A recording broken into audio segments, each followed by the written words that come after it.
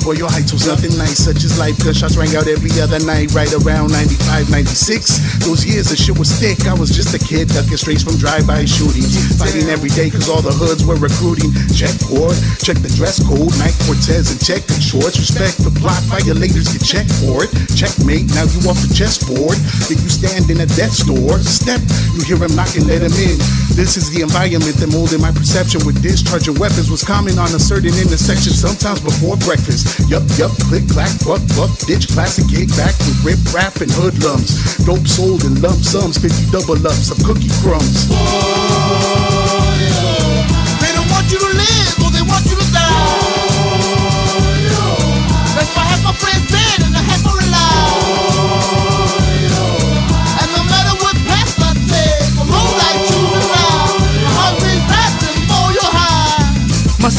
many drinks last night at the Ember cause I woke up crudo.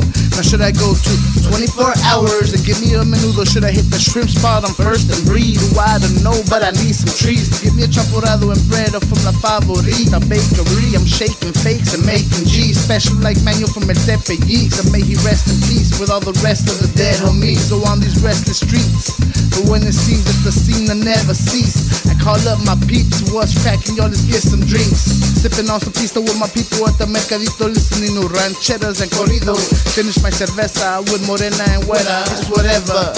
Cause motherfucker, I'm